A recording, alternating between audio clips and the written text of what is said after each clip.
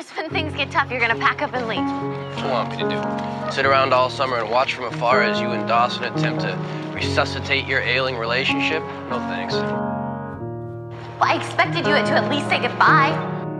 I can see you standing, honey, with his arms around your body, laughing, but the joke's not funny at all.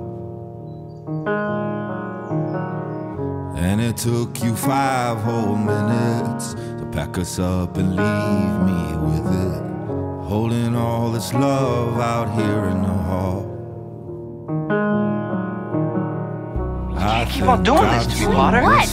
before, and I didn't like the the hell is that? You're not my homeland anymore. So what am I defending now? You were my town. Now I'm in exile, seeing you out. I think I've seen this film before.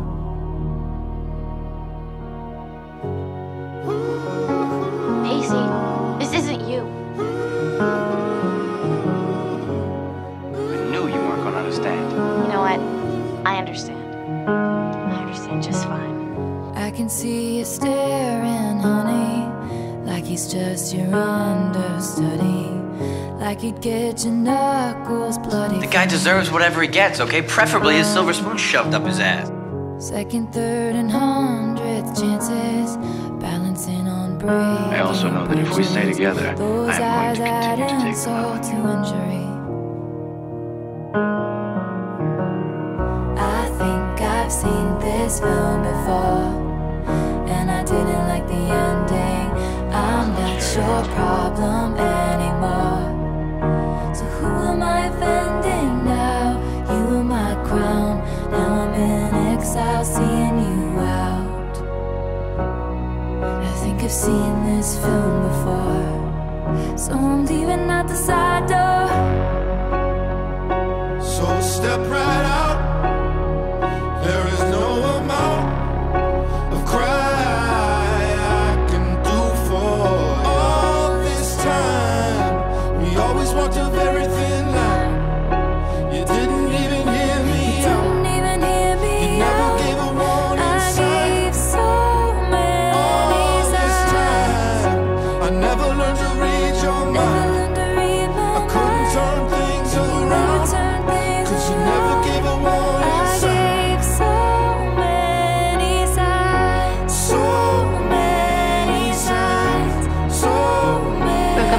senior prom, so we never had the chance to dance at our own prom. Okay, dirty laundry, Joe. Let it go.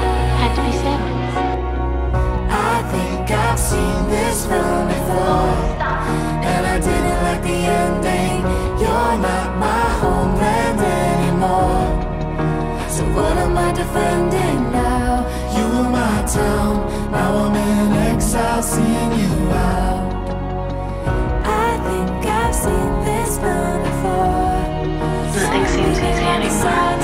just move on and get over you. And the only way for me to do that is to not be around you anymore.